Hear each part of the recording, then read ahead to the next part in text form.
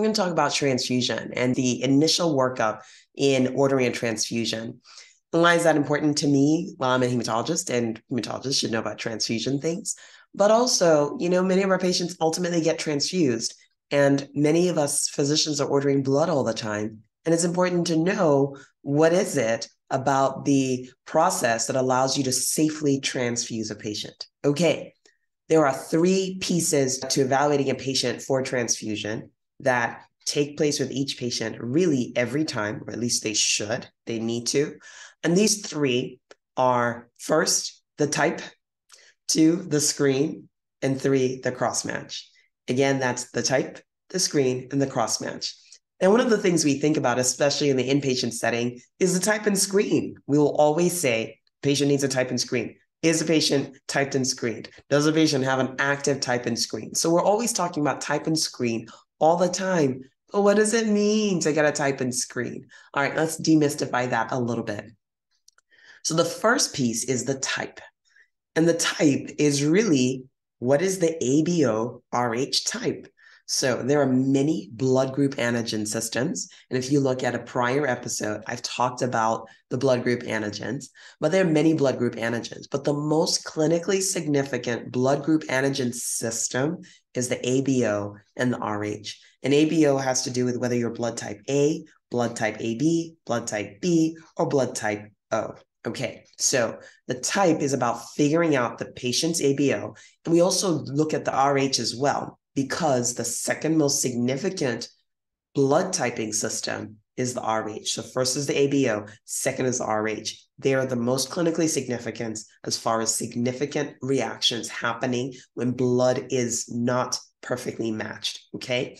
So the type is to first of all discover what is this patient's ABO blood group and are they RH positive or negative? That is the type. It's a starting point of all transfusions. And even if you knew what the type was 30 days ago, really in general, we tend to repeat these types every third day. And people ask me all the time, they're like, Dr. Onwuemene, why? The patient has been in the hospital. Why three days later do we need to repeat the type and screen? And I will tell you that really it's for safety reasons.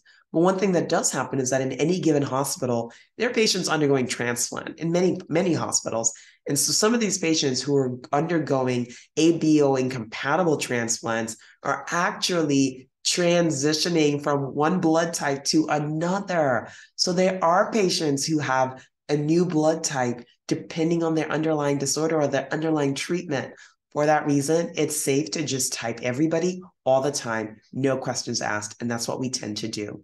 There are two ways in which we type people. We do a forward typing where we take the patient's cells and we react them against known plasma to see what the reaction is to decide whether it's ABO or RH.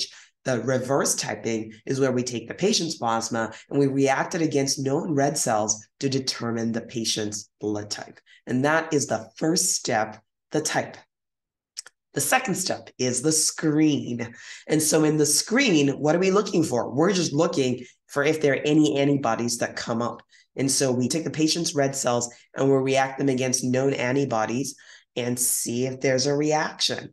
But what we also could do is we could take the patient's plasma and then react them against red cells to see if there are any antibodies, any reaction that shows up. So it's kind of like a very general screen for the most part. You are just reacting red cells and plasma, and you're seeing if there are any reactions.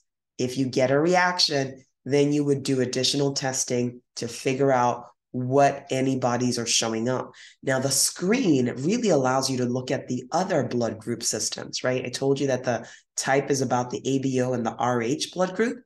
The screen is about the what we call minor, and not always minor for some, but what we call the minor blood group antigens that may be reacting in the patient. So the patient may have preformed antibodies against the red cells that you're going to transfuse, and you want to know that up front. That's why you take the patient's plasma and you react it with known red cells and see if there's a reaction. Now, for patients who have never had a prior transfusion and have a negative type and screen, they may not need additional testing, but in patients who've been previously pregnant, have been previously transfused, or they've had a transplant, or they have a history of multiple transfusion, you wouldn't necessarily stop at the screen and feel reassured you do an extended workup to make sure that you're not missing an antibody that is quiescent. And this can happen especially in patients who have sickle cell disease, where they form a new antibody. And then over time, the antibody dies down and is quiet. It's still present. There's an anamnestic response. That means there is a recall that'll happen if the patient is ever exposed to that antigen again. But when you do the screen, it turns out negative.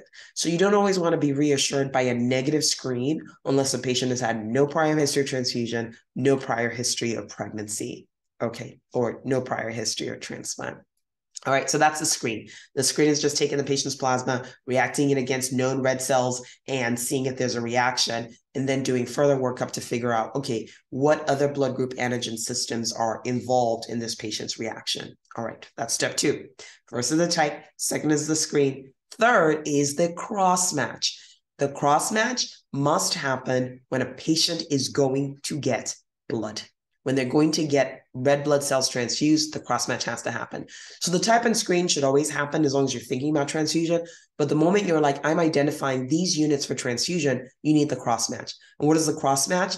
The cross match is where you take the patient's plasma and you react it against the red cells you're going to transfuse. You get an aliquot of the red cells and you react it with the patient's plasma and you see is there a reaction. Okay, that is the cross match. You're saying we're about to commit you to these units are you having any trouble with it? And you're looking to see if there's any reaction to these specific units. That's the cross match. Now, that's historically the way the cross match has been done. I will tell you that now, really, there's so many, many, many more techniques to get a better cross match. And sometimes there's electronic cross matches that will happen as well, where the phenotype, of, where the genotype or the phenotype of the red cell units to be transfused is really well known and matched against the patient's known red cell phenotype. But there you have it. Anytime a transfusion is going to happen, you type, you screen, you cross match. All right. Thanks for listening. It's good to talk to you. I'll talk to you again next time.